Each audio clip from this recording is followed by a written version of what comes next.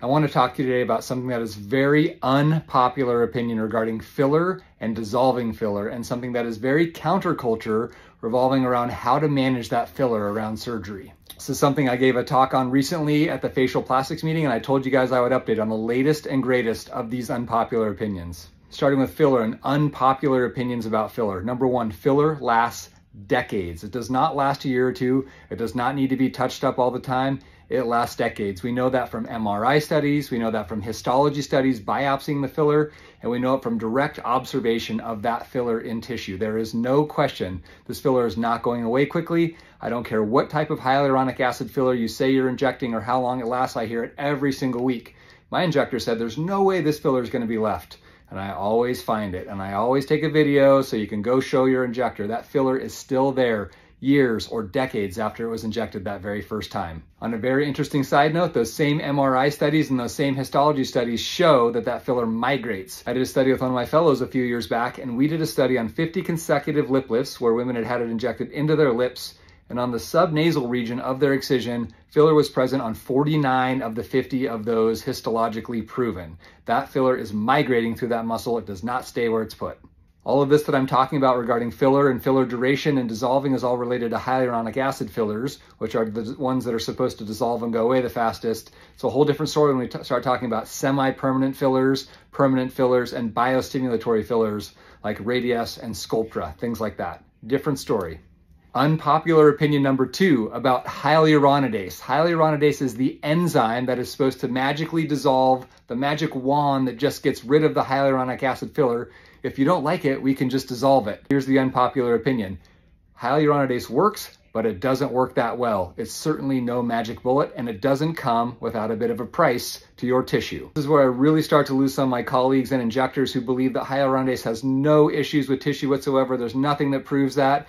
Well, that's not entirely correct. And in animal models, hyaluronidase is shown to dehydrate tissue and change the biomechanics of tissue. It is not different in our skin. It does change the way that our skin and soft tissue fat pads behave. It changes their biomechanics and it changes how they function during surgery. We see that all the time. If we even think back to the history of hyaluronidase use in local anesthetic, that's often cited. Hyaluronidase was used forever in local anesthetic very safely. What was the mechanism of its use? It was used to break down the extracellular matrix and allow that anesthesia to spread faster. It was doing what many people think it doesn't do. It was breaking down that tissue, allowing the anesthesia to spread faster. That's the point. The hyaluronidase has a detrimental effect on the local tissue. That doesn't mean we can't recover from it. And when I see issues with it, it tends to be people who are injected with it very frequently in very high doses. So if we can manage the dose and we can manage the frequency, we can still use hyaluronidase very safely, but we have to be very cautious about it. And that leads into my total counterculture unpopular opinion number three, and that involves how to manage the filler before surgery. This is where I do things a little bit different, and this gets a lot of gasps. I don't dissolve filler before surgery on a regular basis. The reason I don't do that is because I can manually remove so much of that filler during our procedure that I can get a very excellent visualization as to how much filler is left behind, how much I was able to remove manually.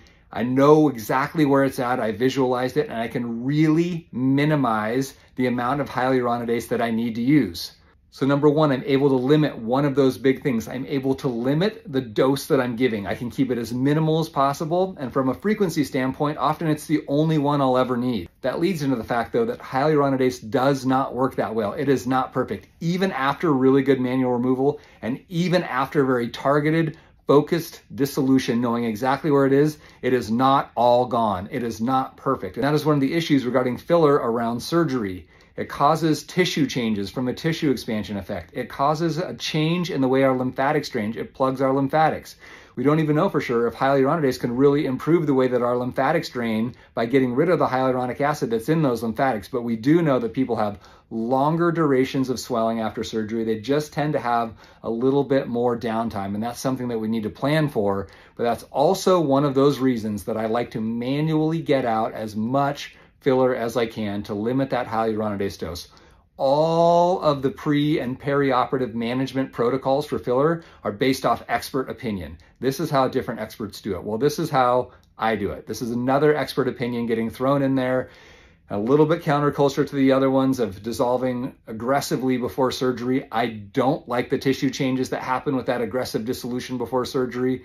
I want to see the filler in the tissue. I want to get out what I can manually, and I want to be able to very precisely and very accurately target the filler that's left behind from a location standpoint and from a dose of hyaluronidase that I'll need to get that accomplished standpoint. With those tissue expander effects is one reason that I really like to use regenerative medicine with patients who've had prior filler that's getting dissolved. That regenerative medicine aspect improves the tissue quality, the tissue that was damaged by the filler, and it makes our outcomes better. That filler does quite a bit to our native tissue. It integrates into that tissue, it expands that tissue, it changes the way that it looks and feels and functions surgically. We call it hyalinized. Oftentimes I'll find these little encapsulated areas of filler that are like a breast implant stuck in the fat pads around the eye or stuck in the cheek, these nodules that are not going anywhere with hyaluronidase.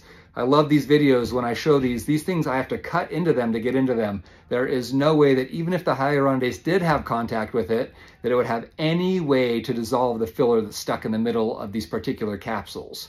So the filler changes the tissue dynamics as well. This is a really hot topic. This is really counterculture. It's really unpopular opinion. Please, please, please start an intelligent dialogue with your thoughts and feedback in the comments below.